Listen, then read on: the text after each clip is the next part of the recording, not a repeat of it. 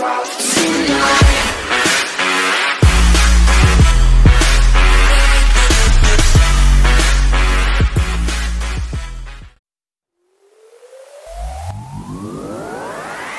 has revealed more details about the Leaf Nismo concept that it will formally unveil this month at the Tokyo Auto Show.